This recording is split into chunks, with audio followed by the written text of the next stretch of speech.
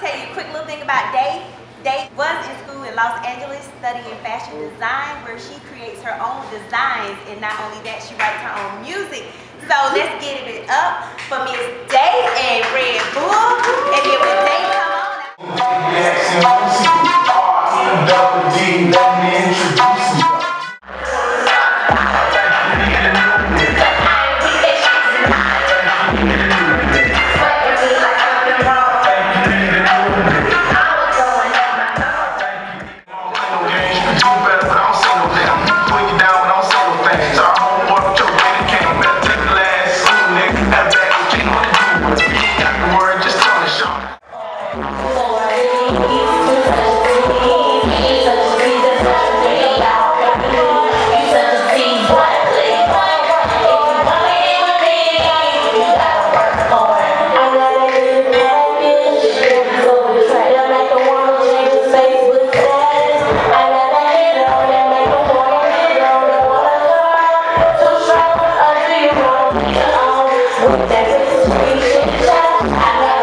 Come on, baby, come on.